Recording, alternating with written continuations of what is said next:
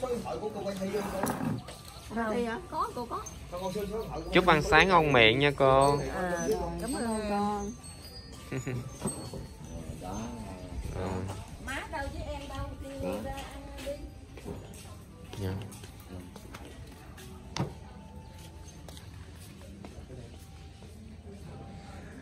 làm việc chùa được ăn cơm chùa xin chào anh. Hôm nay anh sẽ làm điện hả? Chứ ăn sáng đi rồi làm sư huynh